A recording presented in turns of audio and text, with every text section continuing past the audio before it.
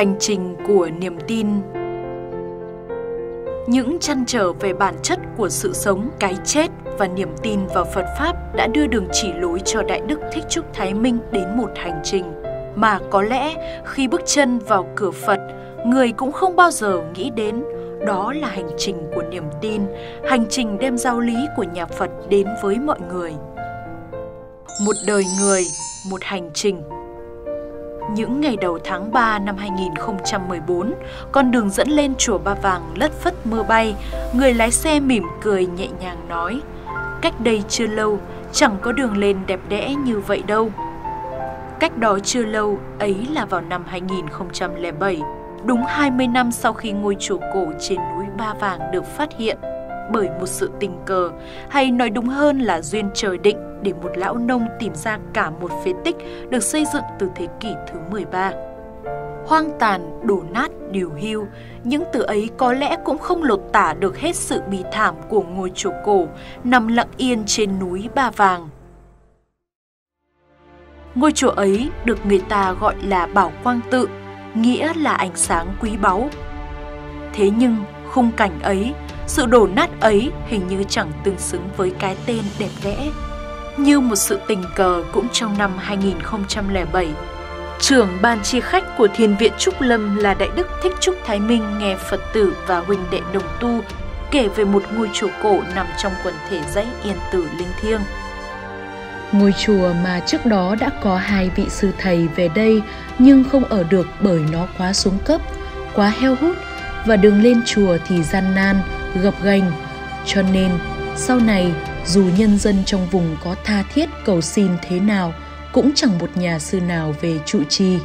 Giữa núi rừng yên tử, nhìn ngôi chùa đổ nát, những huynh đệ đồng tu và cả những người dân bản địa có nằm mơ cũng không ngờ được Đại Đức Thích Trúc Thái Minh lại mỉm cười và nói Thầy thích ngôi chùa này.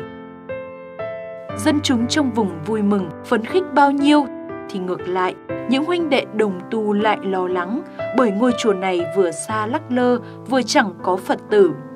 Đại Đức Thích Trúc Thái Minh mỉm cười nói, Thầy sẽ ở đây, có thể sẽ chết ở đây cùng chùa.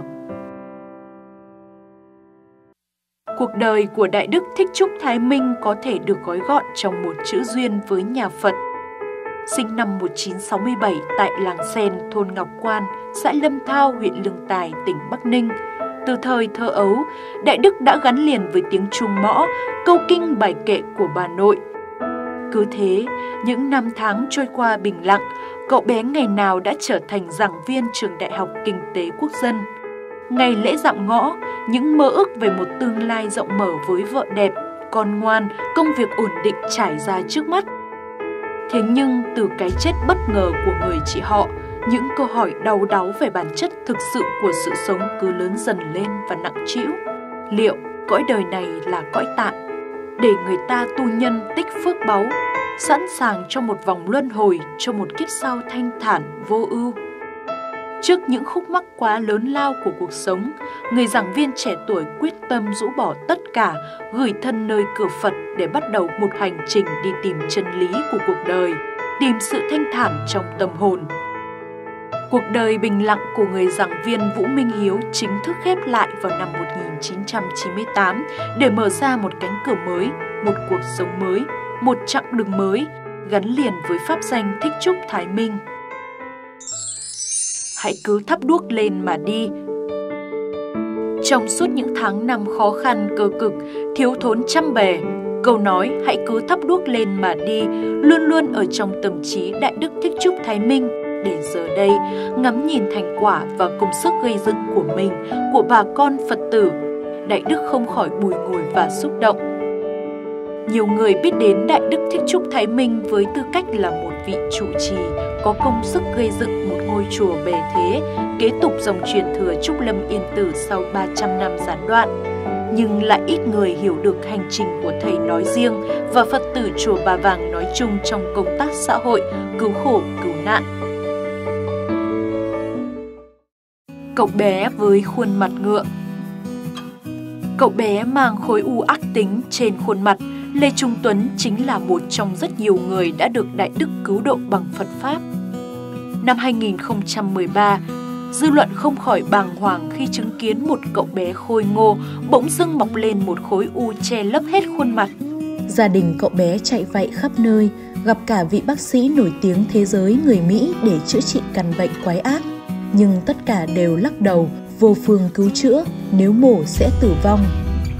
Khi niềm tin vào cuộc sống của Tuấn và gia đình lung lay dữ dội, cũng là lúc Đại Đức Thích Trúc Thái Minh phát tâm cứu giúp mảnh đời bất hạnh này.